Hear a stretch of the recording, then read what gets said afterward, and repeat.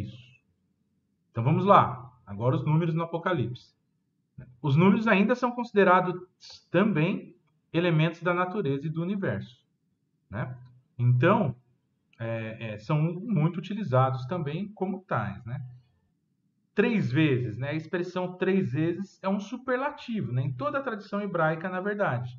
Né? Toda vez que a gente vê lá, três vezes, negou a Cristo três vezes, né? Jesus pergunta três vezes para Pedro se ele o ama. E não à toa a mesma pessoa. Negou três vezes, Jesus pergunta se ama três vezes. Tem tudo a ver com isso aqui, né? Superlativo total. Tem o sentido de plenitude e de santidade. Vamos ver os dois? Ó, lá no Apocalipse 21, 13. Alguém pode ler para gente? Eu leio. 21, 13, né? Isso. E depois 4, 8.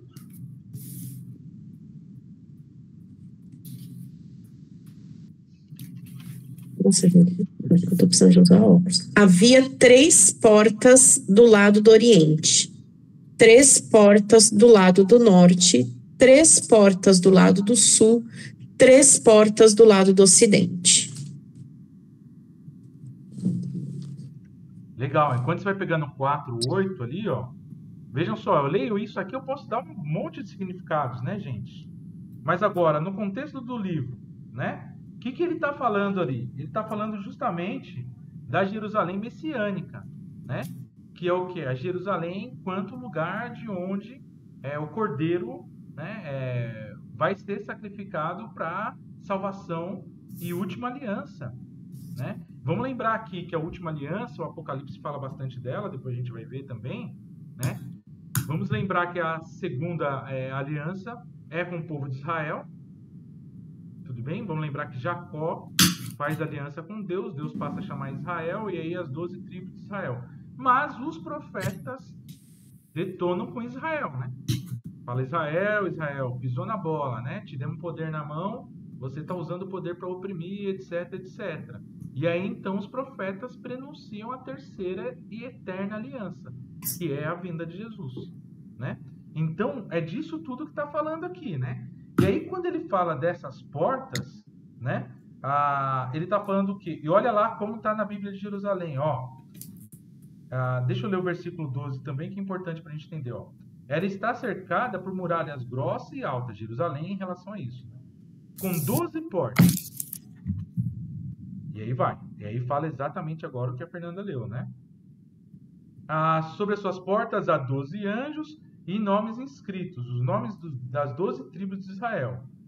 Três portas para o, la, para o lado do Oriente. Olha o que a Fernanda leu agora, é três portas do lado do, do Oriente. Pode ver que na própria tradução tem sentido diferente. Uma coisa é falar que está para, outra coisa é falar que está do. Se eu não ler direitinho, eu posso me trair no significado aqui, né? E eu vou falar por quê já. Ó, três portas para o lado do Oriente, três portas para o Norte, três portas para o Sul e três portas para o Ocidente. E aí, para terminar o trecho, fala assim no 14, ó, ah, no 15, desculpa. A muralha da cidade tem 12 alicerces sobre os quais estão os nomes dos 12 apóstolos é, do Cordeiro. E aí a gente vai ver o que quer dizer apóstolo, vai ver o que quer dizer cordeiro. Então vamos lá. Essas portas, né, essas 12, 12, 12, e elas são enquanto superlativo aqui, né? Superlativo aqui em relação à plenitude, né? Então, 3 vezes 4 é 12, né? Então, vamos ver o 4 aqui, ó. 4 tem a ver com os elementos do universo, tem a ver com quadrangular, ó, que tem a ver com plenitude e perfeição, mas tem a ver também com os quatro cantos da terra, em todo lugar. Então, quer dizer, Jerusalém é estratégica, é central, ela está né, com portas para todos os lugares né? Os quatro cantos da Terra. Então, é nesse sentido superlativo de plenitude que está aqui essa simbologia, né? Desses três, três, três, três vezes aqui, ou o número 3. Tudo bem? E santidade, Fernanda, você pegou lá? Capi, é, 8, desculpa, 4, 8? É, Juliana, peguei sim, ó. Cada um dos quatro seres vivos tinha seis asas, coberta de olhos ao redor e por dentro. Dia e noite, sem parar, proclamavam: Santo, Santo, Santo. Senhor Deus Todo-Poderoso, aquele que é, que era e que vem. Muito bom, muito bom. O que vocês perceberam aí, gente, em relação a isso, ao uso desses três vezes do superlativo no sentido de santidade? Juliana, desculpa trocar seu nome. O que vocês perceberam? Querem que a, que a Juliana leia de novo para nós? E aí eu quero que alguém aponte aí onde está aplicada essa questão da santidade aqui, sobretudo. Na repetição dos três vezes santos, não é? Santo, santo, santo.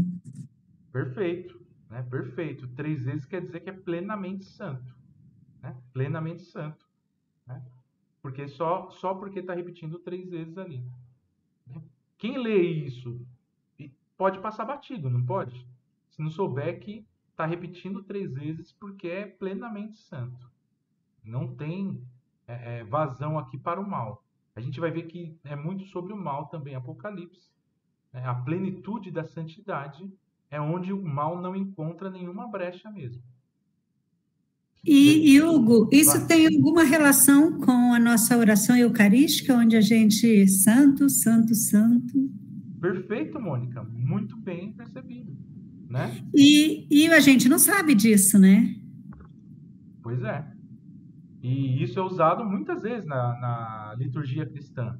Né? Toda essa numerologia aqui, gente, é usada também na liturgia cristã não apocalíptica. Muitas vezes, muitas vezes.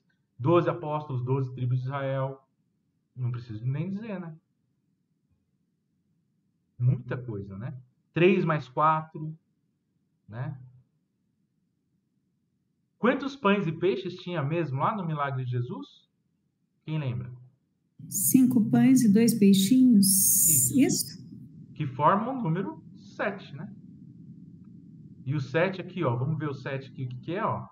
Olha aqui, o sete é a composição de três mais quatro. Indica plenitude, perfeição, totalidade. Quer dizer, quantos pães e peixes tinha? Depois da partilha, o suficiente para todo mundo. Né? ou o suficiente para repartir. Só que a gente só soube disso depois da partilha. Antes parecia muito pouco, né? Mas quando todo mundo se organizou, sentou e repartiu, foi o suficiente para saciar todo mundo e ainda sobrou um montão. Tudo bem isso para todo mundo? Não só a questão dos números, mas também algumas, algumas é, palavras, né? No caso da, natureza, monte, essas coisas, é toda a Bíblia, né? Tem significados assim, cada um tem um significado. Por exemplo, 12 é, é mais existe algo mais que plenitude, mas é, né? Tem tem alguma coisa a ver. Muito bem então observado. tem muitos muitos significados. E que se a gente não tomar cuidado, a gente se trai. Se a gente ler literalmente, a gente cai em erros muito ruins. Com muito certeza. Ruins, né? O 12, por exemplo, 12 apóstolos, né? 12 apóstolos tem um significado. O 12, olha aí. Então, aparece em muitas, muitas, muitos lugares. O, eu lembrei agora que não tem nada a ver, mas é uma coisa do perigo, né? Da má interpretação da Bíblia, do texto, né? É, eu lembrei de uma reportagem que eu vi esses dias passando, esses dias não, deve fazer tempo já, mas passando os canais lá, aquela coisa, nesses canais da tarde, e aí um pastor que foi preso porque é, é, traiu diversas, diversos membros lá da comunidade, porque ele fazia com que as esposas dos, dos maridos lá dormissem com ele para a salvação, né, para garantir a salvação. E aí ele foi questionado sobre onde na Bíblia estava isso. Ele mostrou lá. E aí a palavra é, adulterar, né? É, ele leu de uma forma que era, ele não sabia o significado da palavra adulterar, né, é, de adultério, né? E aí ele leu de uma forma que era é, que elas deveriam, né? É, é, ele interpretou de uma forma que elas deveriam dormir com ele. Mas, gente, não foi por safadeza, foi por ignorância mesmo. E você vê um senhor assim, sem instrução alguma, né? E pastor, né? Isso é um grande perigo, né? Líder religioso. E ele não tinha maldade ali. Ele cria naquilo mesmo, ele acreditava naquilo. Né? Mas ele interpretou errado e aí virou aquilo. Isso é um perigo, um perigo. Vamos lá? As crenças e as culturas, se não souberem também, né, tornam-se perigosas. Gente, porque é muito importante, né? Vocês acham que os biblistas, os teólogos e teólogas iam perder suas vidas com essas coisas, com esses detalhes, se não fossem de fato importantes, né? São muito importantes, gente. Se bobear daqui uns dias, né? E não duvido que já tenha tido, vai lá o pai e sacrifica o filho a Javé, né? Não é difícil de acontecer e vocês sabem disso, né? Por quê? Porque né? deu errado, deu errado. Então, nesse sentido que o Fernando lembra muito bem, né? Então, é, é preciso tomar muito cuidado, porque tem que pegar qual que é a leitura mais adequada, né? Lembrando que não há leitura perfeita, né, gente? Há leitura que saiba exatamente o que João e a comunidade joanina quiseram dizer com esse livro? Não. Não é, não é possível. Por quê? Por causa disso que a Fernanda acabou de dizer. A cultura, nós não fazemos mais parte dessa cultura deles. Os significados culturais, eles são vivos, eles se dão naquele momento. Imaginem vocês se um Aristóteles ouvisse uma música né, de, um, de hoje, né? Vamos pegar aqui um exemplo de uma música brasileira, um tipo de música brasileira que é essa coisa, essa epidemia, essa. Bom, enfim, um funk carioca, né? Ele faz isso aí, é um barulho que não tem sentido algum, né? Não é música isso, né? Agora imaginem vocês, né? Talvez daqui 10 anos alguém pegar essa mesma música também não vai fazer sentido algum, né? Por quê? Porque é um momento muito específico da história atual na qual o Brasil está inserido e só por isso que esse elemento cultural aparece. Mas da mesma forma que ele aparece, ele é superado, ele some. A cultura ela é viva, né?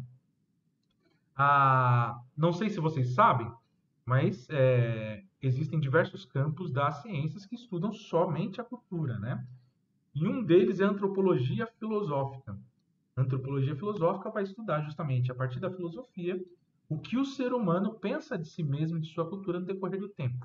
Então tem antropologia filosófica cultural.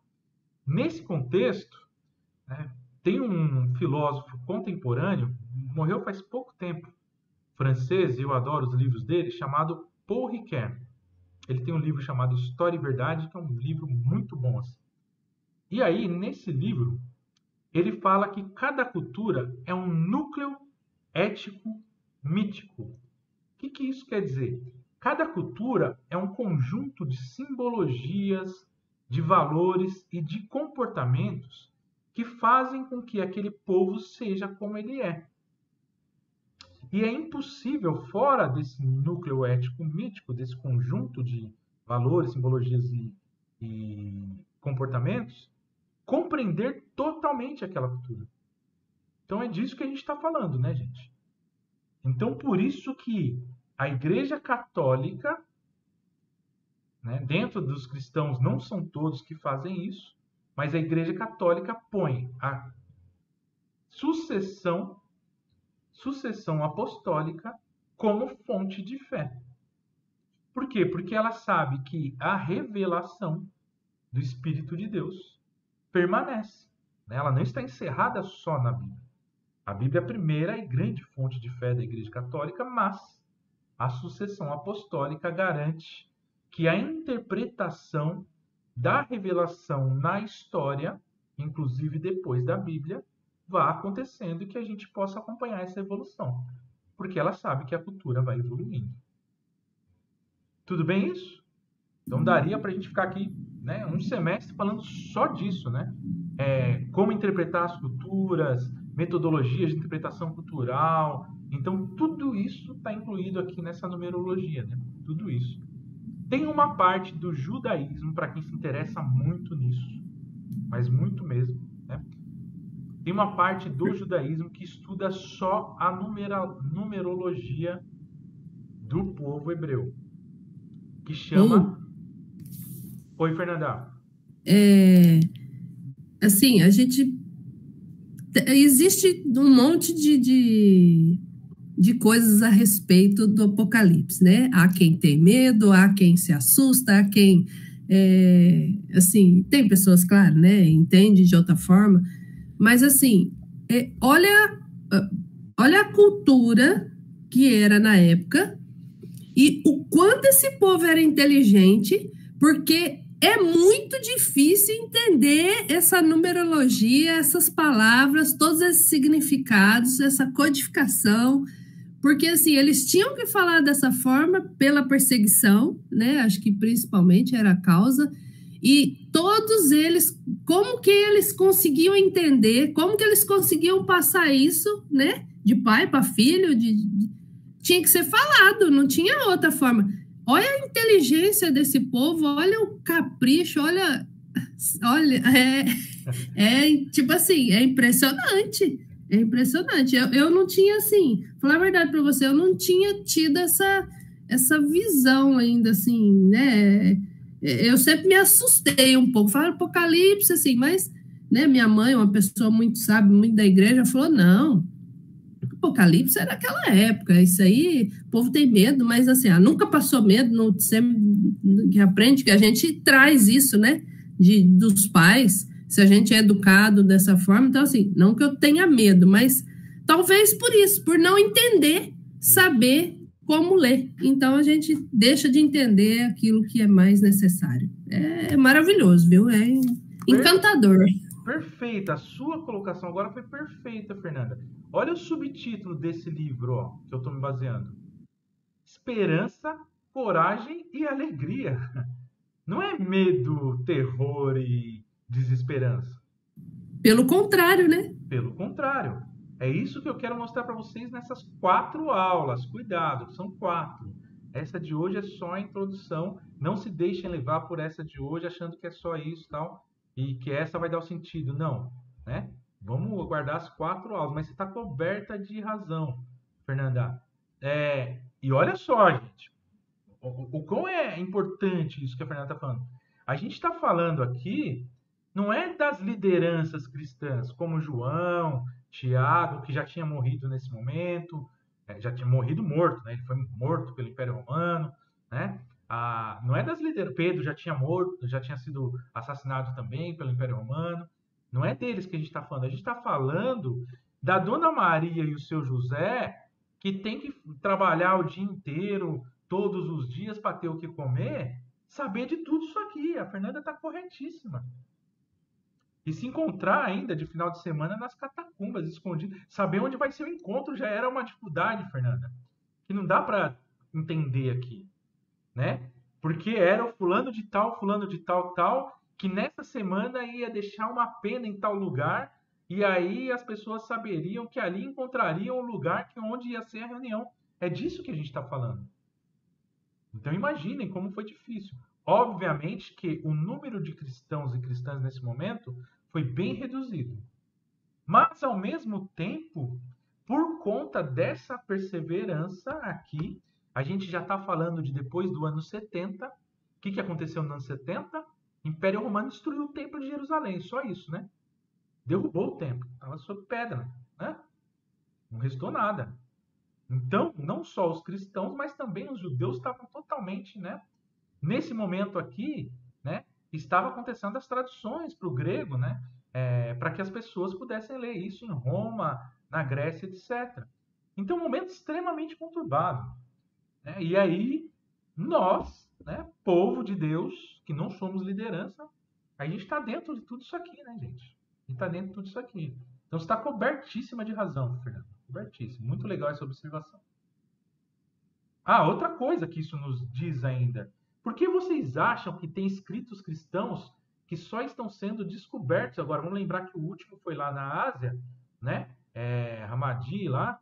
É, em 1960, enterrados dentro de um vaso.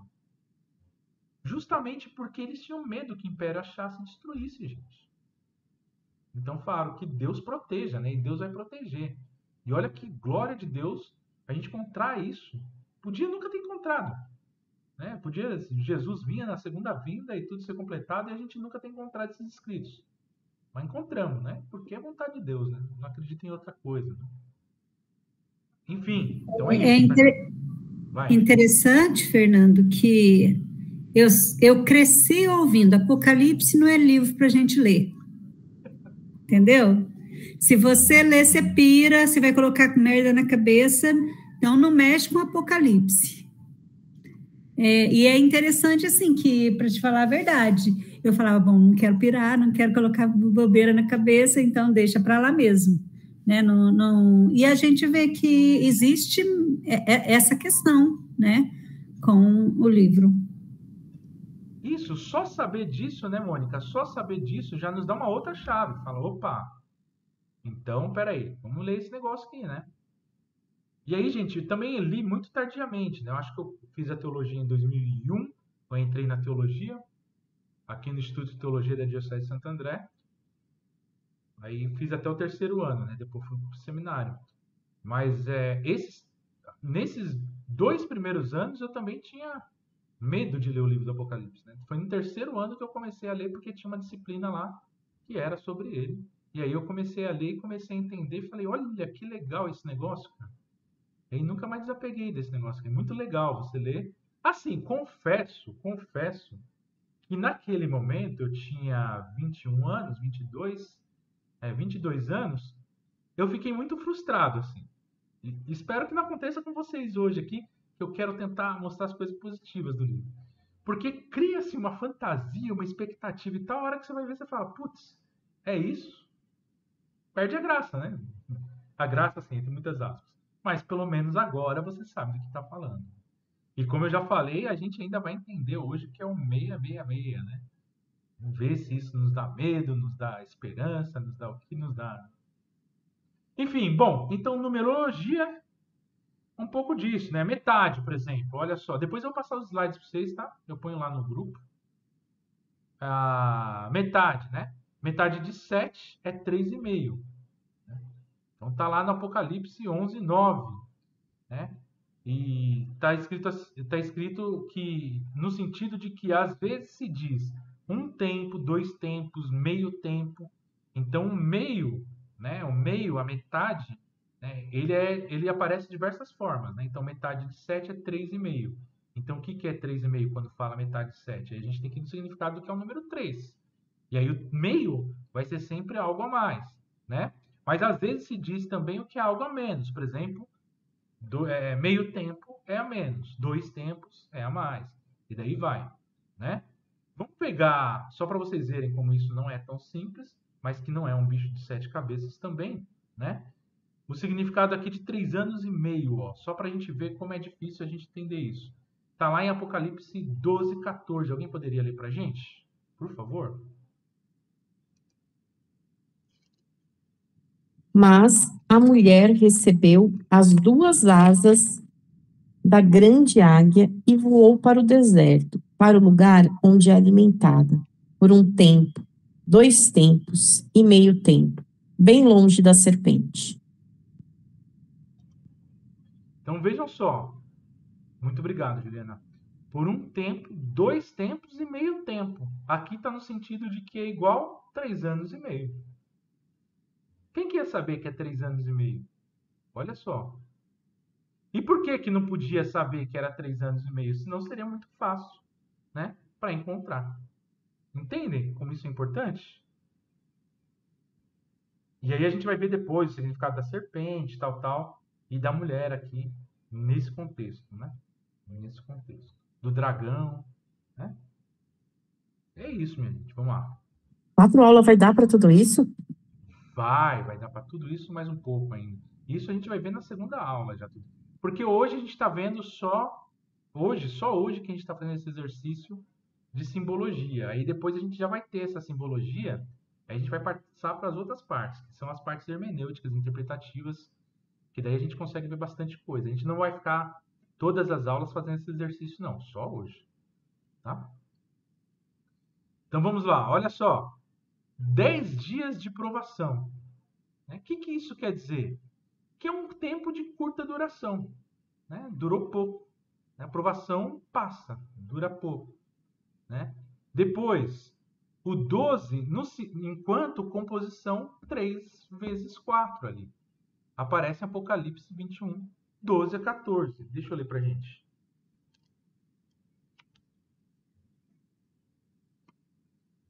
Ah, eu ia falar lá atrás do judaísmo. Tem uma parte do judaísmo que estuda só a numerologia da cultura hebreia. Essa parte chama Cabala. Já ouviram falar?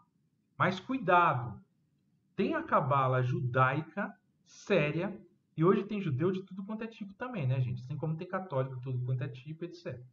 Então, cuidado. Tem estudos teológicos cabalísticos, é uma coisa.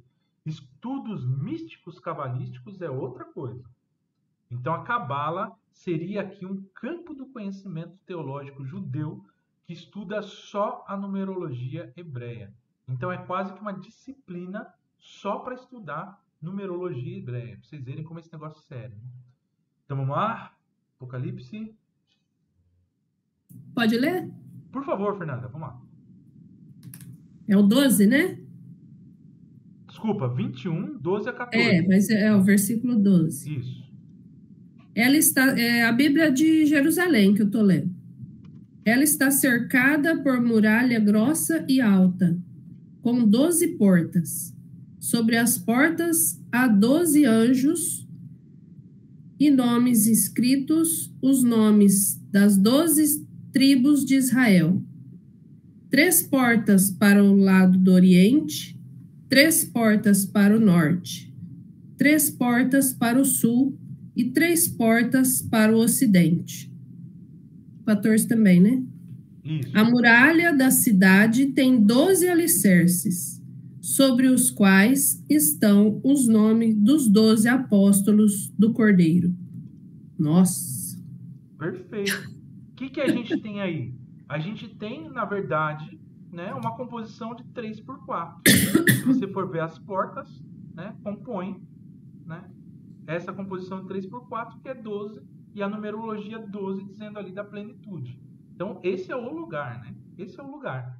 Simplesmente isso quer dizer né? como a gente já tinha visto já. Mas para vocês verem que muitas vezes não é tão simples de entender isso. Né? É só para complicar mesmo. Né? Código. E aí 24 é uma composição de 2 vezes 12, aí vocês percebem.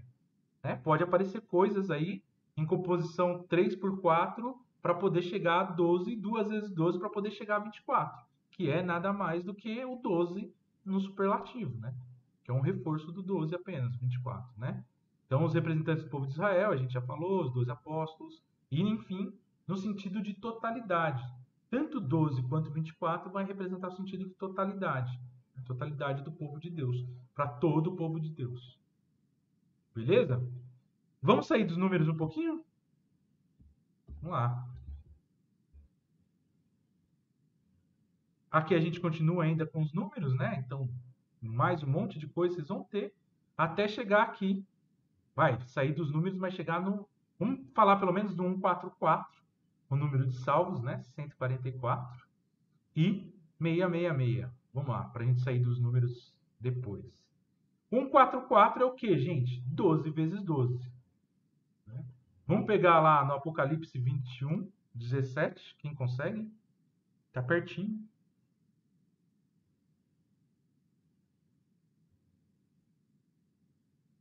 É só 17? Só. Mediu também a muralha, 144 côvados. O anjo media com medida humana. O anjo media com medida humana. É isso, né? Mediu 144 côvados, né? O que, que é côvados, isso? Né? É, é a medida da época, né? E por que 144? Simplesmente porque é 12 vezes 12. Então, sinal de grande perfeição. De novo, falando a mesma coisa que já tinha dito antes, né? Então, pode ver que tem também redundâncias aí no livro só para confundir mesmo, né? Dizendo, olha, esse é o lugar e pronto, né? Se a gente ler aqui no contexto, basta a gente compreender que Jerusalém é o lugar, né? 666, vamos lá. Espero não frustrar demais vocês. Gente, o que, que é importante compreender aqui? Primeiro, vamos ler Apocalipse 13, 18. Quem pode, por favor? Se alguém tiver medo, pode deixar que eu leia.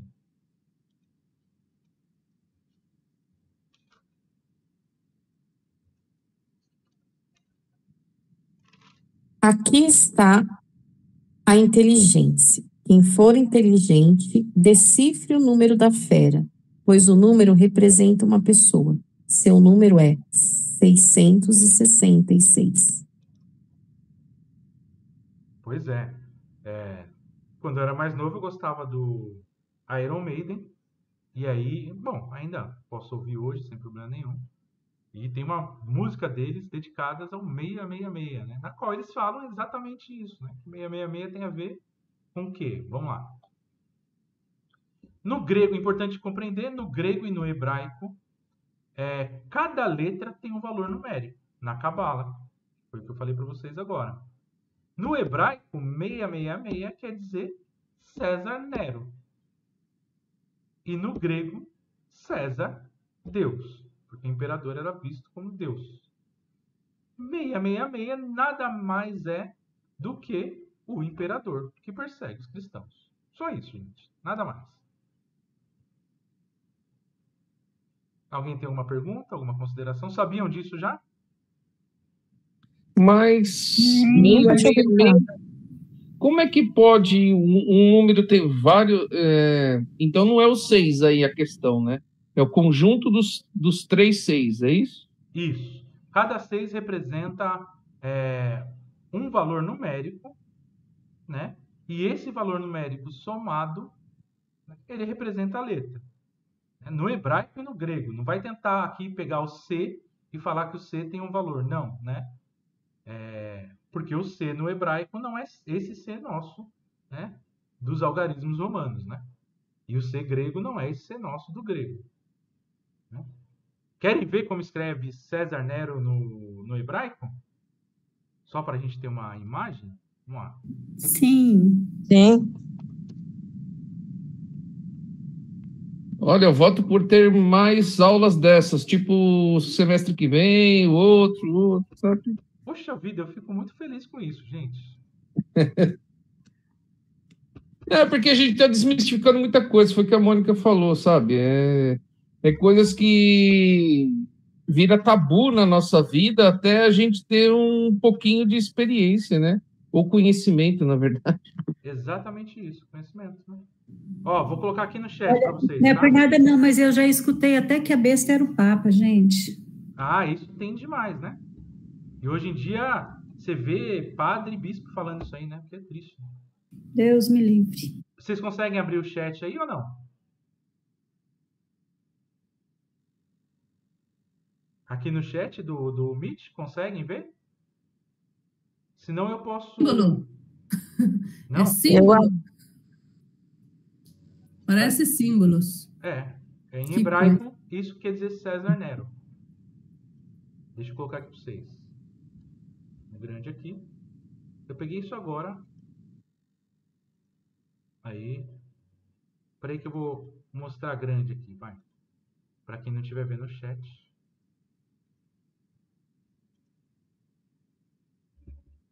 É claro que vai ter variações e tal, mas basicamente... Mas como você digitou isso? Peraí. Peraí que eu já... Quer que eu ensine o, o truque para vocês? Eu tô mais perdida que segue em tiroteio, gente. Tá não, Rosa. Acompanha com nós. Peraí que a gente já vai te encontrar já. Vai te trazer. Foi a Mônica que perguntou? Ou a Juliana? Sim, eu, Ó. Mônica. Olha aqui. Google Tradutor, português para o hebraico, César Nero. Você tem aqui. Ctrl V? Viu? Hum, Copia e cola. entendi. Copia, cola. Tem aqui. Ok. Mas aí esse aí é o 666? Significa? Aqui significa César Nero. Aí cada um desse conjunto aqui tem uma correspondência numérica na Cabala. E daí leva ao 666. Legal, né? Vamos lá. Rosa. Vai pensando aí, Fernando. A gente já volta. Rosa. Eu, eu não consegui ver. Eu vi, mas sumiu. Ah, peraí, peraí que eu, eu vou partilhar de outra forma aqui. Agora- Do jeito que você explicou aí no Google Tradutor, dá para ver. Aqui, ó. Tá vendo, Rosa? Agora vi. Aqui. Isso aqui. Ah, César Nero. Tá? Em hebraico. César era o nome do meu marido. Olha, legal, hein? Ah, legal. Tá? É o que estão falando, desmistificando algumas coisas que chegam para a gente como é, coisas que não tem nada a ver, né? Hum, Pois é. É, desculpa se eu frustrei alguns, alguns, algumas de vocês, mas é, esse é meu papel aqui, aliás, né? Um deles, né? Então. Rosa, vamos lá. Você falou que tá Eu meio- acho que eu não fui, fru- fru- fui frustrada, não. Eu estou mais tranquila. Que bom, isso é ótimo, viu? Não tem nada a ver com a minha, a minha campainha tocando e não ser ninguém. Pro- muito provavelmente são os amiguinhos aqui da esquina do, do João Pedro que vieram chamar ele para brincar, só que ele não tá. Enfim, bom. E, e, na verdade eles tocaram a campainha e saíram correndo só para me fazer de besta. O que é costumeiro, inclusive. Bom, vamos lá. É, Rosa, até aqui, né? Você falou que tá meio perdida, vamos nos encontrar aqui. não, não, não. Você Eu estava tá- perdida para achar, para ver como é que escrevia. Só Ah, isso. Não, tá entendi. tudo bem, Então tá. não, tudo bem. Então Eu tá. só não estava achando para ver os símbolos. Show, beleza. Mas até aqui o que nós estamos fazendo? Apenas decodificando o Apocalipse. Nós vimos alguns códigos, as cores primeiro e agora os números, o que eles querem dizer na literatura apocalíptica de João. Você vai aplicar essa mesma numerologia ao Apocalipse de Ezequiel? Provavelmente vai dar certo? Vai, tá? Com pouquíssima diferença, mas aí você pega números no livro de Ezequiel, você acha estudos teológicos sobre isso também. Se você aplicar em Isaías, vai dar certo? Muito provavelmente, quase tudo, pouquíssima coisa ali vai ser muito. é, é, vão ser diferenças muito pequenas. Vai dar certo. Legal? Boa. Então vamos lá. Agora sim, eu acho que a gente pode sair um pouquinho dos números, né? E avançar. Deixa eu ver se tem mais alguma coisa aqui legal que não posso deixar de falar. Ah, o 7, o significado do 7, muito importante, aparece muitas vezes o 7, não só o 6. Por que, que o 6 é tido como uma coisa ruim, a besta do imperador, gente? Ah, importante, importante, importante. 666 é o número da besta, tudo bem. Mas às vezes aparece como besta fera. E, é, e a gente vai ver isso mais para frente, eu acho, quando a gente for falar dos animais. Mas é, pode ser ou o imperador ou o império romano, tá? Um dos dois ali. Mas 666, besta, besta fera, né? imperador, império romano, imperador, império romano. Quando tiver conotação de pessoa, imperador. Quando tiver conotação de grupo, né? Ah, o dragão com as sete cabeças, tal, tal, tal, né? A besta, tal, tal, é império. Mas a gente vai ver isso mais pra frente também. Ainda hoje. Ô, Hugo, Oi, que na verdade, assim, não sei se eu vou estar falando alguma besteira, é, do significado, assim, né? A, a perseguição, por exemplo, ao povo vinha de quem? Do chefe maior, que no caso era ele. Mesmo, exatamente isso. Então, a, então as ordens dele, né? As ordens dele. Então, é claro que ele tinha que ser o maior, né? A besta, que seja. Ou o império, né? Que seja, porque também tem a ver. Deixa eu perguntar uma outra coisa, Hugo, Que desculpa. coisa. É, eu, tô, eu, eu gostaria de imprimir essas coisas, fazer um tipo de uma apostila. E eu estou fazendo ah, foto, né, que vocês chamam? É, tem, um, tem um nome que eu não sei. É, Para imprimir, eu consigo? Precisa não, eu passo para vocês depois no grupo, Rosa. Eu passo tanto em PDF como em PTTX, que é o PowerPoint, o é, slide, né? E aí Entendi. se você, em PDF é só você mandar imprimir que imprime em seguida já. Ah, legal, então. bom. Obrigada. Tá, obrigada. Se vocês quiserem ainda, eu- com dois cliques eu faço um PDF que tem espacinho para anotação ainda. Querem? Ah, é legal, sim. Porque, sabe, se a gente começa a anotar tudo, que eu gosto muito de anotar, é, eu, não, eu perco a explicação. Legal. Então fica uma coisa ou outra. Isso. Então aí eu fico com tudo já direitinho como uma apostila. Obrigada, tá? Show, melhor. Melhor prestar atenção e tentar acompanhar o raciocínio aqui. Né? Depois vai, vai pegando as anotações. Ah, então, o número. Por que o número 6 é o número da besta? Né? Com toda essa conotação que a Fernanda. Só que a Fernanda tinha dito uma coisa lá atrás que é importantíssimo também, gente. Como que essas pessoas simples, que não sabem nem ler nem escrever, algumas delas, sabem de tudo isso aqui? A Fernanda falou, eu acho que talvez ela não tenha tido a consciência é, da complexidade do que ela falou no geral, mas no que ela falou, ela falou, vai falando um para o outro, né? É a tradição oral, gente. O judaísmo até hoje. Né, tanto é passando de pai para filho, né? É exatamente isso aí mesmo, é a tradição tanto oral. O judaísmo quanto o islamismo, até hoje, a tradição oral. Eu tenho um amigo, é, ele era cantor de rap quando eu conheci, né? É, ele ainda é hoje, mas ele se converteu ao islamismo. E aí, impressionante, assim, foi a conversão dele, porque o moleque era um moleque, né? Como nós éramos, assim, não tinha interesse em estudar, nem... Hoje ele é um intelectual do islamismo. Ele sabe ler é, em árabe, ele sabe ler em hebraico, né? É, ele recita, né? Ele sabe tudo aquilo ali de cor. Por quê? Ele repete aquilo todos os dias. Né? A tradição oral é muito importante até hoje em muitos campos do judaísmo né, e no islamismo de forma geral, né, eles repetem, né, as orações são recitadas, por isso que a gente repete oração, Pai Nosso, Ave Maria, o Credo, tal, tal, vem dessa tradição oral, que são verdades básicas da nossa fé que a gente precisa repetir todos os dias, por quê? Porque tem a ver com o conhecimento do coração. Por isso que a gente tem que saber de cor. Sabiam disso? Então, tudo Não. isso tem a ver com tradição oral. A tradição oral é o conhecimento do coração. É aquilo que a gente tem que saber de cor. Não é só a cabeça.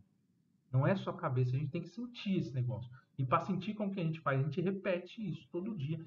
Passa de pai para filho, a gente repete junto. E a gente vai repetindo, repetindo, repetindo. Até aquilo entrar na gente. E a gente saber aquilo de cor. Percebe? Então, bonito isso, essa coisa de tradição oral, né? Até hoje os cristãos, os católicos, né, as famílias católicas, e muito perdemos isso, né? infelizmente. Bom, o número 6, então, é o mais próximo que se chega do número 7, né, gente? Mas não é o número 7, né? Não é o número 7. Mas tenta chegar, né? Então, nesse sentido, sabe? Tenta chegar, né? Mas não é. Então, por isso ele representa a imperfeição, enquanto 7 representa a perfeição. Beleza? Uhum. Vamos lá então. Alguém quer falar? Vamos para alguns elementos da natureza agora?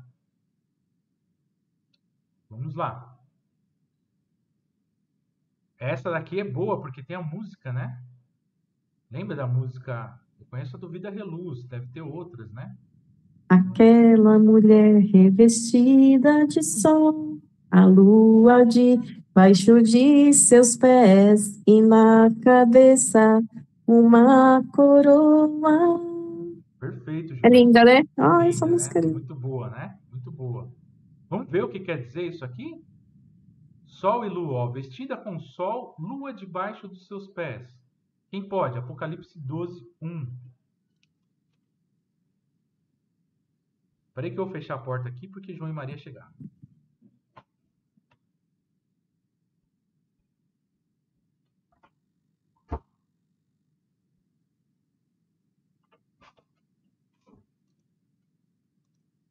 Pronto, Apocalipse 12, 1? Então apareceu no céu um grande sinal, uma mulher vestida com o sol, tendo a lua debaixo dos pés e sobre a cabeça uma coroa de doze estrelas. Muito bom. A gente vai ver, olha só. O que quer dizer o sol e lua aqui? Vestida com o sol ou lua debaixo dos pés? É a criação servindo ao povo de Deus. Esse é o sentido aqui. Deixa eu ver se a Bíblia de Jerusalém denota isso. Ela fala da mulher, quer ver? Mas não fala sobre isso. Ó, a cena correspondente a Gênesis, a mulher dá à luz na dor a, aquele que será o Messias. Ela é tentada por Satanás, que a persegue, bem como a sua descendência. Ela representa o povo santo nos tempos messiânicos. Isso aí, ó. Né? Então, é, é o povo santo no tempo messiânico E, é, portanto, é a igreja em luta. É possível que João pense também em Maria, é, a nova Eva, a filha de Sião, que deu nascimento ao Messias e tal. Então é nesse sentido do povo enquanto servindo a criação servindo ao povo de Deus, né? E a estrela, vamos ver essas estrelas que tem na coroa aí? Ó, Apocalipse 1:16. Quem pode?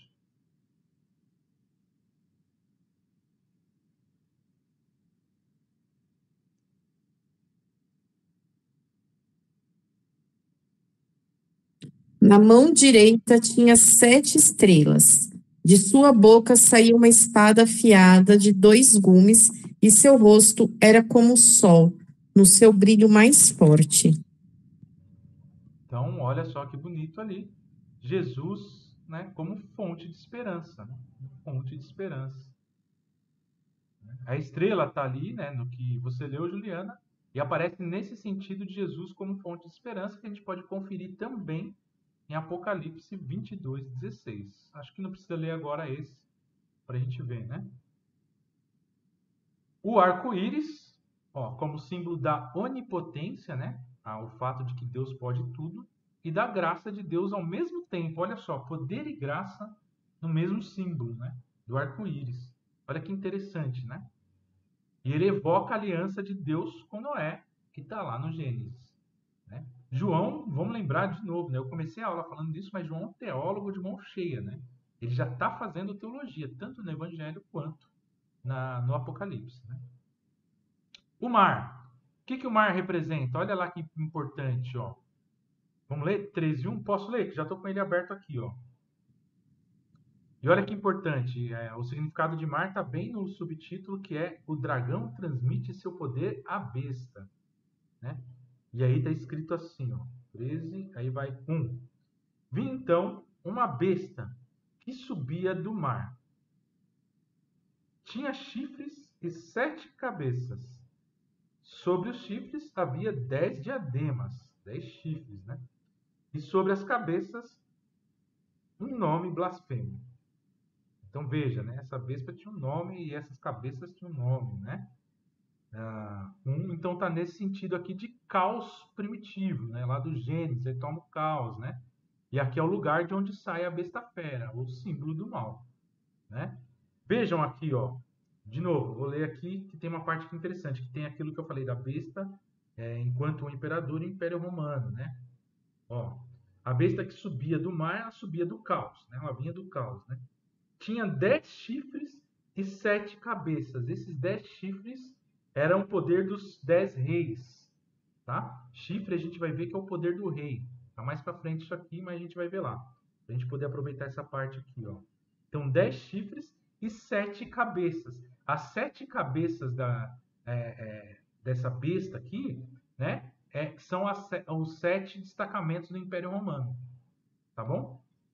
Então, é isso. Então, às vezes, quando aparece, eu falei, quando aparece no, no sinal conotativo a besta no sinal plural. Então, a besta tinha sete braços, sete rabos ou sete cabeças. Ela tinha, né, é, nesse caso aqui, ela tinha sete cabeças. Né? Então, os destacamentos que vieram né, foram suficientemente grandes para nos arrebentar. É. Ivani está falando? Ivani? Ivani? Ai, Desculpa, foi nada. Ah, tudo bem. Hugo. Oi, pode falar, Fernando. Para nós, eu falo para mim, então, né? Para mim é difícil compreender tudo isso, tá? É, a pergunta do milhão. Para eles era fácil entender? Se escrevesse desse jeito, eles conseguiriam compreender a, a, a, o sentido que estava querendo ser passado para isso? Era, por exemplo, porque vamos, vamos dizer, você vem com a Bíblia, né? No Antigo Testamento, depois tem o Novo Testamento, aí depois no, no, tem os Evangelhos, tem as cartas. Teoricamente, uh, é fácil de se transmitir até chegar aí. Aqui precisa dos códigos, que é o que você está passando. E, e, e aí, é, se perdeu isso as pessoas. Ah, para nós, ok, nós estamos falando sobre dez chifres, sete cabeças, já sei do que está dizendo, ou ficamos viajando, né? Ah, não faço ideia do que ele está querendo dizer aqui. Fernando, eu estou pensando direitinho como te dizer isso. O grande problema, né? Bom, para eles lá, a sua pergunta primeira é para eles, depois você passa para os dias de hoje, certo? Isso, é. Isso. Então, tá, para eles. Eles só tinham acesso ao Pentateuco, tudo bem? Os cinco primeiros livros. Essa é a primeira questão, né? As coisas foram surgindo, né? Até a, a, a década de 70, né? As coisas foram surgindo muito espaçadamente, tal. Então eles não tinham acesso à Bíblia como a gente tem agora. Não tinha a sequência dos livros tal. Eram conjuntos de escritos que iam rodando nas comunidades. Beleza? Essa é a primeira questão. Para explicar isso, eles tinham acesso a isso, eles dominavam essa, essa codificação, né? Não sei se você já viu as crianças brincando de língua do P. Já viram isso ou não? Sim. Sim. Né? Aí está a resposta. As crianças que dominam a língua do P falam perfeitamente a língua do P e a gente não entende nada. Quem não domina a língua do P. Eles dominavam essa codificação, eles, eles brincavam com essa codificação todos os dias. As crianças tinham brincadeiras com essas codificações e daí por diante. Isso fazia parte do cotidiano deles, essas codificações. Tudo bem que só eles entendiam, né? Nos filmes, geralmente aparece alguma coisa muito próxima, assim, né? Quem olha de fora, por exemplo, os soldados romanos tal, vão lá vistoriar as casas e ouve eles falando a codificação, fala, esse povo é um povo medíocre mesmo, né? É, fica falando nessas besteiras aí e tal. Eles devem estar falando que, né? Não se importam, por quê?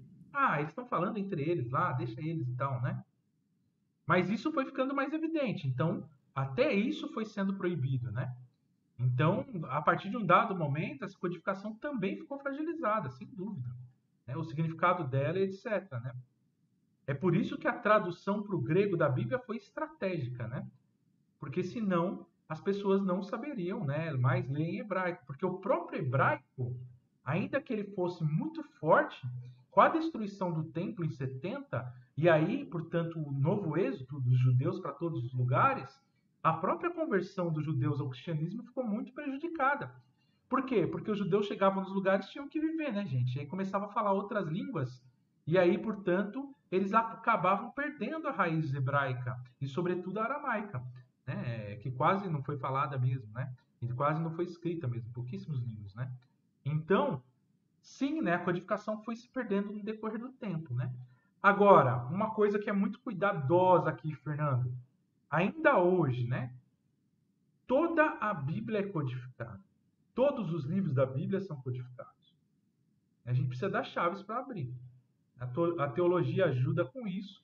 A teologia popular ajuda a massificar isso, né? E a gente tem que fazer mais cursos de teologia curtos de, né, para poder ajudar a decodificar isso. É um curso de teologia na universidade, por exemplo, você não vai aprender quase nada disso aqui. Você vai ouvir falar, vai ter uma aula de Apocalipse lá, vai falar, ah, é, é codificação número tal, é, coisa da natureza tal. Você não vai ficar entrando porque é muita coisa para vir em quatro anos, né? Ou cinco anos, dependendo do caso. Então, no curso graduação, você não vê quase nada disso. No curso popular, a gente consegue explanar um pouco mais, porque para a gente é mais interessante isso aqui, porque a gente quer de fato que as pessoas né, aprendam a ler a Bíblia e tal, e que a gente consiga aqui fazer círculos de leitura da Bíblia. Então, Fernando, aqui tem uma resposta. Né? Eu acho que a gente deveria fazer mais ciclos de estudos bíblicos, né? É, estudos dos documentos da igreja também. Porque, gente, acontece isso com a Bíblia. Imaginem vocês com os documentos da igreja. Mais ainda, que quase ninguém lê. Estou né? falando aqui dos católicos, né? não lê documento da igreja. Né? Fala mal, tal, tal, tal, ou fala bem também, mas não lê. Não estuda, né? Então a gente não, tem. Só te interrompendo, na verdade, não faz nem ideia do tanto de documento que tem. Gente, o Papa, uma, um, pelo menos uma carta por dia ele escreve. Para acompanhar esse homem, é, e olha a idade que ele tem, olha Né? E nós, tudo novo, né? Trabalhando, estudando. É... A gente não dá conta de ler o que o Papa escreve, só o Papa. Se só lesse o que ele escreve, que ele escreve todo dia, já tá bom, mas não dá tempo nem de ler o que ele escreve. Imagina o tanto de documentos que saem. Né? A doutrina da fé, né? e diversas outras é, é, é, competências da igreja escrevem documentos muito constantemente. E a gente não lê, não estuda. Não dá para ver tudo também, isso é fato. Agora a gente podia ler mais, né? Então, então um pouco disso, Fernando. Sem sombra de dúvidas, hoje a gente perdeu muitas. Gente, hoje a gente está muito, mas muito longe do que é ser cristão, assim. Mas longe mesmo, assim, não é? Cada vez, infelizmente, a gente está passando mais longe. Assim. Se a gente lê a Bíblia, é só ler a Bíblia, né? Ler a Bíblia né? e ver o que era ser cristão naquele momento e ver o que a gente faz hoje falando que é ser cristão. Ah, tá, mas tem que atualizar? Tem, claro, óbvio, né? Agora, essa atualização, quais são as fontes de fé disso? Se eu sou católico, a minha fonte de fé, além da Bíblia, é tradição apostólica. Então, eu tenho que saber o que a igreja diz pela tradição apostólica. Aí, se eu não leio os documentos, se não estudo os documentos, aí fica difícil, né? E, e se, e aí eu vou falar, e se, né? É, com essa questão da tradução da Bíblia, alguém traduzisse os códigos da Bíblia, entende o que eu estou querendo dizer? E, e, e, assim, em vez de que a gente precisasse ter uma aula específica sobre Apocalipse, imagina que a gente lesse Apocalipse dizendo: o cavalo preto aqui quer dizer isso, isso, isso. Nessa situação aqui, ele quer falar assim, e tivesse uma Bíblia, vamos ser mais mastigada para a gente é, ter mais acesso, chegar a mais pessoas, quebrar mais barreiras, entendeu?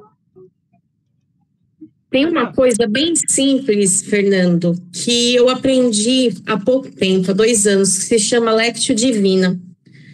Eu sou católica de nascimento, os meus pais são católicos, eu fui batizada, fui cri, é, criada na, na, na, tradição cristã, fui catequizada, fui crismada. E eu nunca tinha feito um Lectio Divino. O que, é um Lectio Divino? É uma leitura da Bíblia com uma reflexão, né, uma oração. É, uma leitura orante, né? A gente faz a leitura, faz uma reflexão, faz uma meditação e faz uma oração.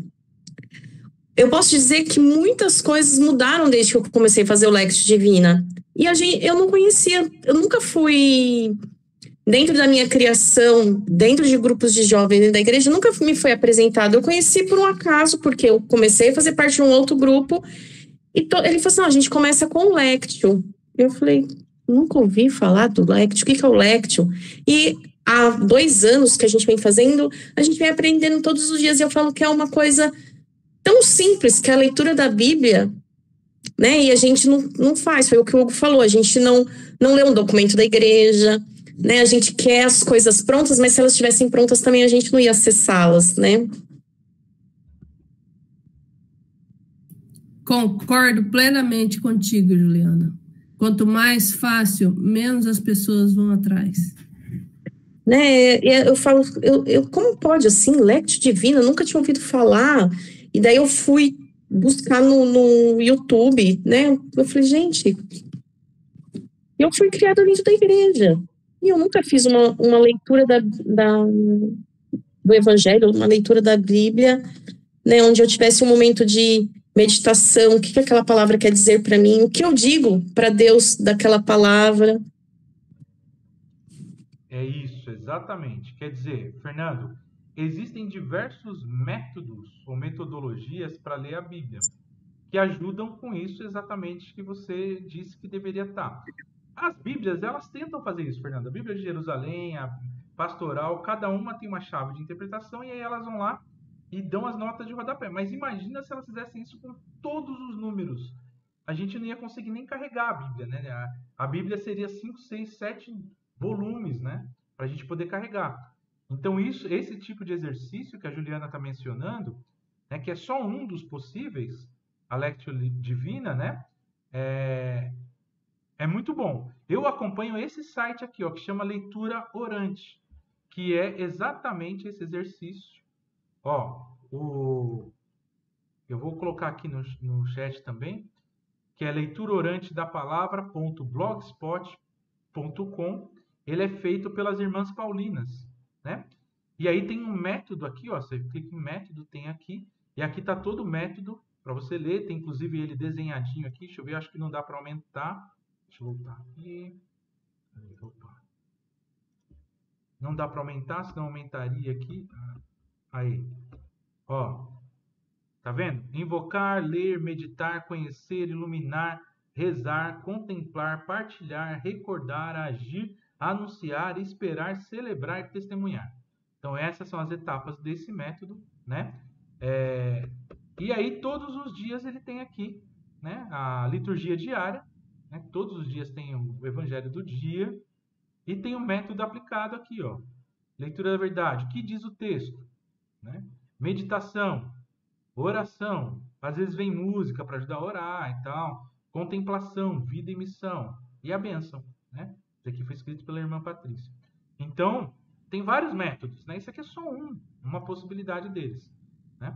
Então, é Sim, eu e outra coisa, o seu professor Roberto, que acho que é todos já conhecem, nós já estamos aqui há três anos, ele sempre fala: ah, eu quero que vocês leiam um texto, não é sete vezes sete, é 70 vezes sete. E daí passa um mês, a gente chega na aula e ele fala assim: então, vocês leram o texto? Ninguém abre a boca, ou seja, a gente nem lê o texto uma vez. E daí a gente quer as coisas mastigadas, mas a gente não faz a nossa parte. Né? A gente é um pouco preguiçosinho. Gente. Eu, eu, entendo o que vocês estão falando, mas eu digo assim: é, é alguma forma de poder massificar que o Apocalipse não é um, um, livro que vai acabar o planeta, o mundo, entende?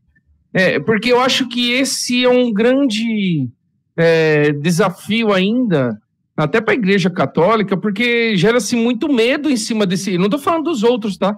Falando propriamente do Apocalipse gera-se medo. Se a Mônica falou, nossa, eu não vou nem ler. E assim, isso não é só ela, não. Isso vira uma tradição, que o Apocalipse é uma coisa que se você ler, você, sei lá o que vai acontecer, o 666, entendeu? Eu acho que, claro, falta um monte de outras coisas, mas se a gente começasse pelo Apocalipse, que eu acho que é o maior desafio, é, eu falo por mim, eu, eu praticamente já Mas conheço quase todos os livros. É um gênero de leitura, que nem poesia é um gênero de leitura. Né? Então, Apocalipse é um gênero literário. E as pessoas não conhecem, a gente não sabe a nossa própria, nosso próprio idioma, a gente não entende português. Tem outro padre que eu ainda brinco bastante, que é o padre Paulo, Paulo Ricardo, não sei se vocês conhecem. Ele é um doutor tal da igreja, ele fala 12 idiomas e ele né, fala assim, gente, a gente não tem, a gente não sabe ler nosso idioma.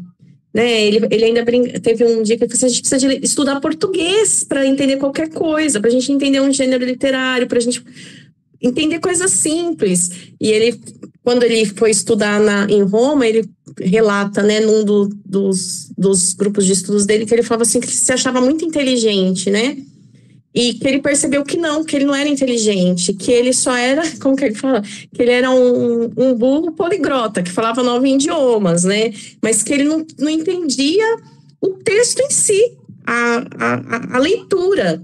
Né? A gente tem um déficit de, de aprendizado muito grande, né? perto, acho que, de outras, outras culturas.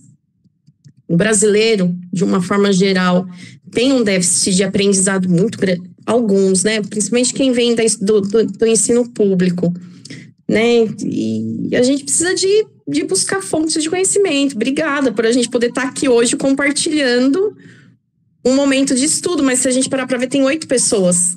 É um grupo pequeno. Ô, Juliana, deixa eu falar uma coisa para vocês. Vocês são muito jovens, né? Muito jovens, perto de mim, né? Então, eu sou do tempo do Vaticano II. Eu, quando fazia cruzada eucarística, que não existe mais, é, eu fazia. É, eu, é, estava acontecendo o Vaticano II, né? E era proibido ler a Bíblia, gente. A gente não tinha acesso à Bíblia. Então, o que, que fazia-se na missa? A missa era em latim, o padre estava de costas e a gente, as senhoras, as pessoas já mais adultas, que não era eu que tinha 7, 8 anos, eles levavam um missal ou então rezavam o terço. E a cultura popular foi que é, é, espalhou, acho que tudo isso, de que o Apocalipse era a história do fim do mundo. Por quê? Exatamente por causa desses símbolos. A gente não tinha acesso à leitura da Bíblia. Então, quem tinha, é, é, que eu não sei se eram os evangélicos, não sei quem era, porque eu era muito pequena, propagava essas informações de que o Apocalipse falava do fim do mundo. É isso que chegou para a gente desde, é, vamos dizer, 1963, 64, é, que era quando eu comecei a ir para a igreja. E eu, de todos vocês aqui, eu certamente sou quem menos sabe da Bíblia. Por quê? Porque eu não tive acesso na, na época que a gente tem aquela sede de conhecimento de saber da Bíblia. A gente aprendia a rezar, como diz o, o Hugo, decor. Não podia fazer primeira comunhão se não soubesse todas as orações, decor. E aí foi que foi chegando para a gente. Você vê, eu vou fazer 70 anos, agora eu estou engatinhando. Por que, que eu estou fazendo o terceiro ano de novo? Porque muita coisa eu perdi. Então, é, eu não podia fazer todas as aulas, eu tive uma série de problemas, e aí eu resolvi fazer de novo, como diz o professor o Roberto, ele diz assim para mim: você passou no conselho de classe. Então, eu voltei para o terceiro ano para não perder essas coisas, porque para mim essas coisas não chegaram. Então, por que desse medo do apocalipse?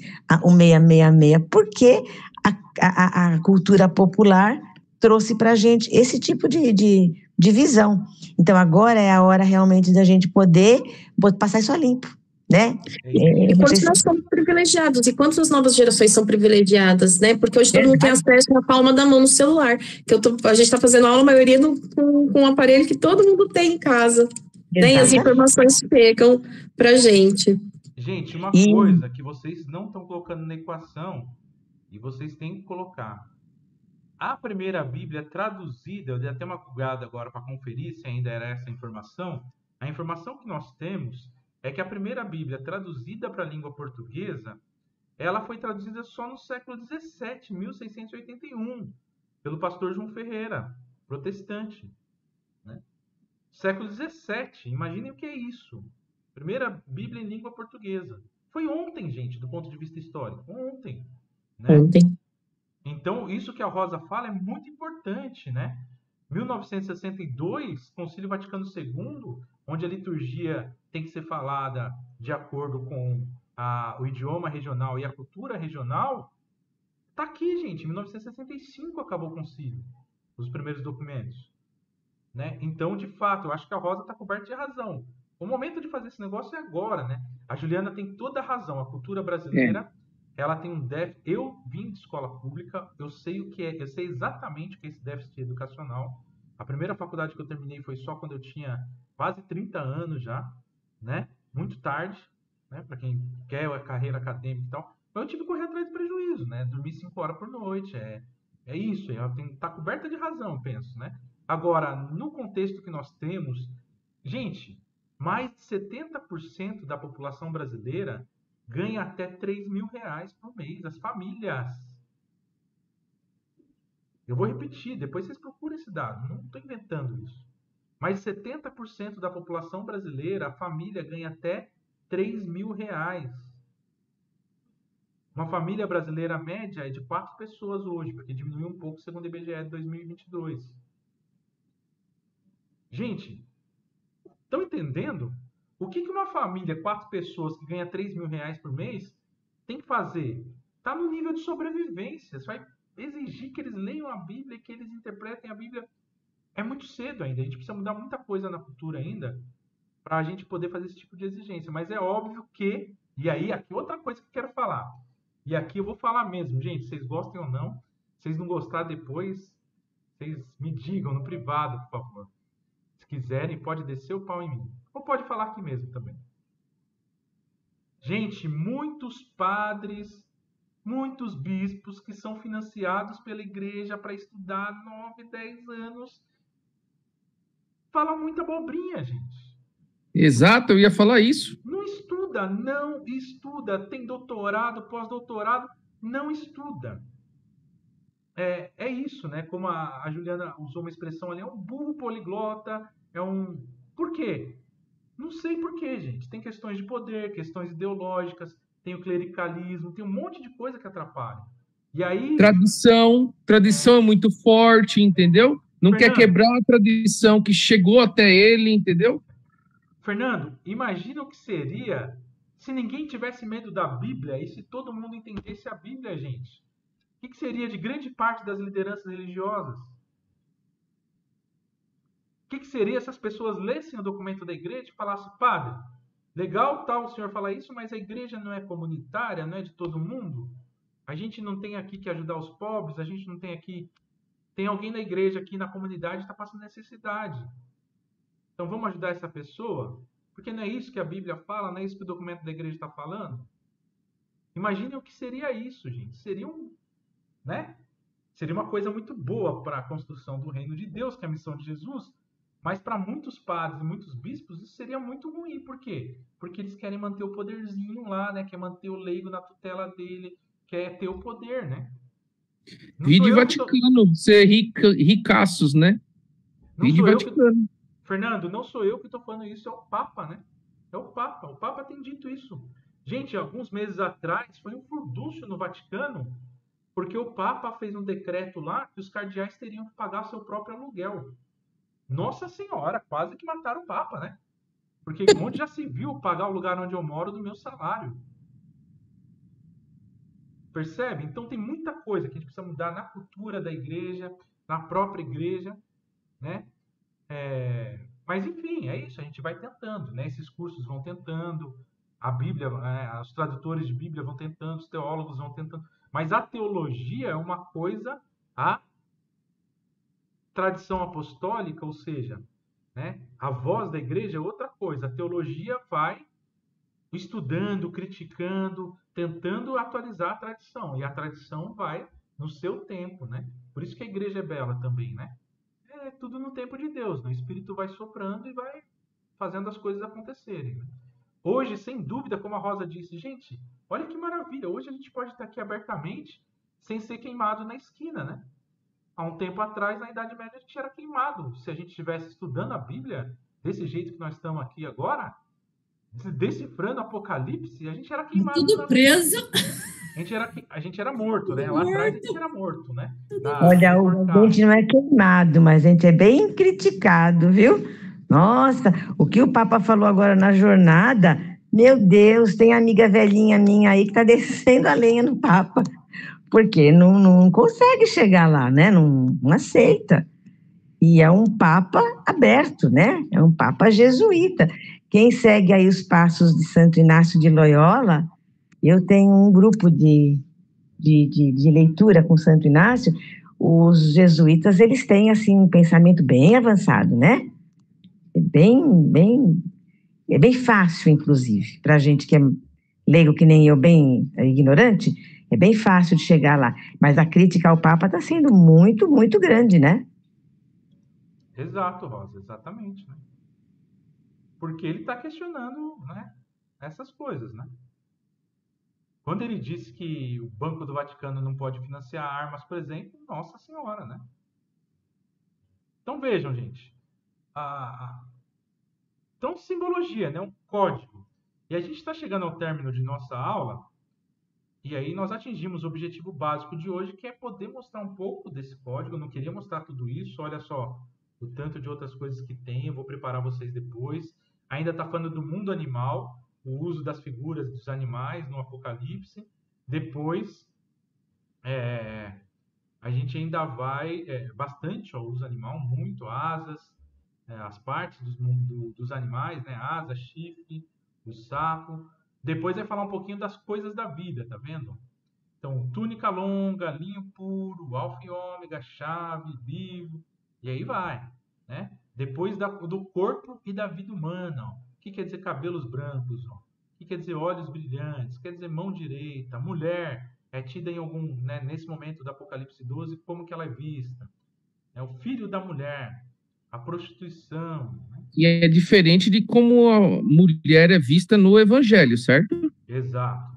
Aqui é um povo santo dos tempos messiânicos, né? Então são as comunidades em luta contra o império. Olha só. Gente, aqui não vamos esquecer. Nós tínhamos cristãos aqui que eram cristãos armados que atacavam o Império Romano. Tudo bem? Né? Especialmente os cristãos é, convertidos do zelotismo, né? que são os zelotas judeus já. Né? Então nós tínhamos aqui cristãos que batalhavam. Esse é o tempo, né? Eu acho que foi a Fernanda ou foi a Rosa, não lembro bem, que falaram um pouco disso. Tem que ler o livro no seu contexto, né? Obviamente. E trazer as coisas atualizadas para hoje, né?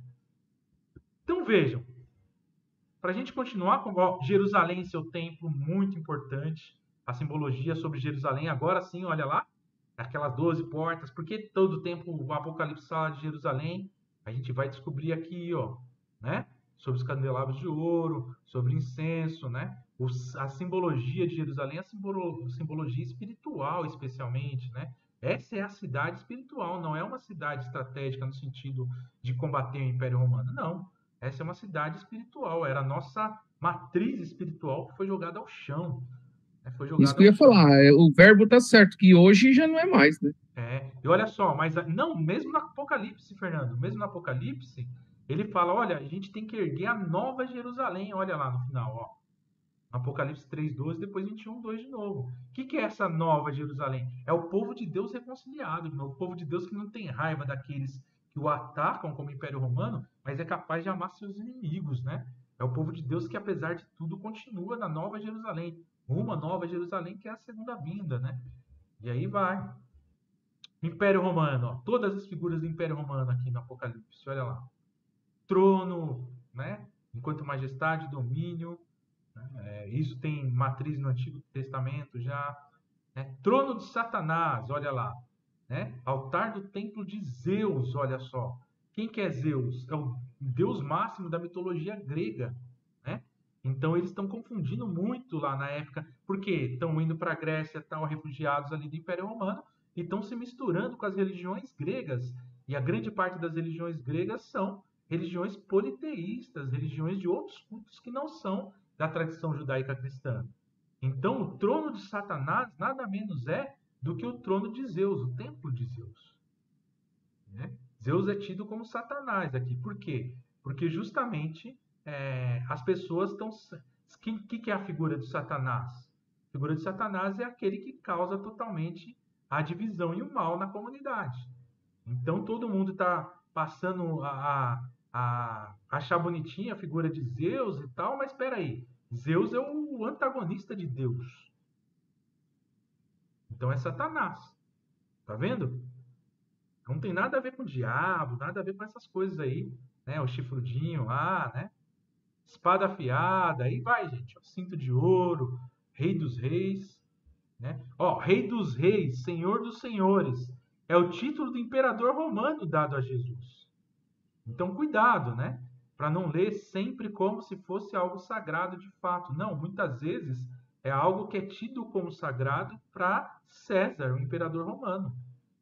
E César não é sagrado para nós, por isso que a gente morre. Por isso que o império eh, persegue a gente, porque a gente não, a gente diz que César não é sagrado. E a gente não faz reverência a César e a gente não paga o imposto do divino. Que é imposto o César era como se fosse uma divindade, né, no, no Império, né? É, ele é Deus. Ele é Deus no sentido da mitologia romana aqui, né? Ele é sagrado. Ele é a encarnação do sagrado, né? Assim como Jesus para nós, olha só. Só que Jesus para nós é o Filho de Deus, né? César ali seria o próprio Deus. E Jesus para nós é o próprio Deus também, né? Na Trindade. Bom, ó, elementos da Bíblia é a história do povo. Ó. Tem diversos também, diversos. Coloquei diversos ali para vocês. Todos esses tirados daquele livro que eu falei para vocês, tá? Então, olha, a revelação do nome de Deus, né? O objetivo do êxodo.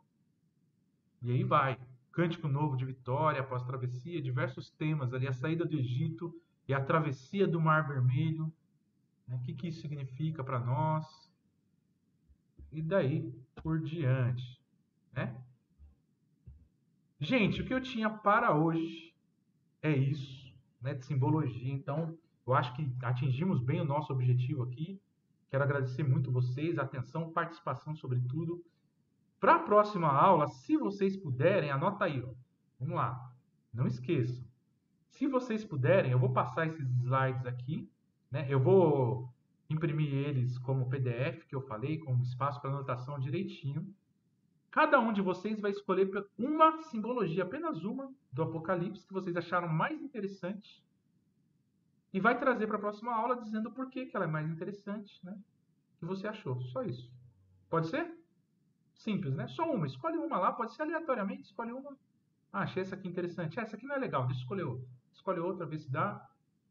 Beleza? Uma só. E a gente começa a aula que vem isso para retomar essa questão da simbologia, para ir para o próximo tema da próxima aula, que eu só revelo na próxima aula, para vocês não ficarem ansiosos e ansiosas.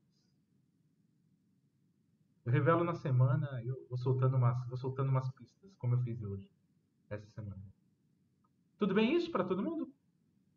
Eu vou parar de gravar, caso vocês queiram dizer alguma coisa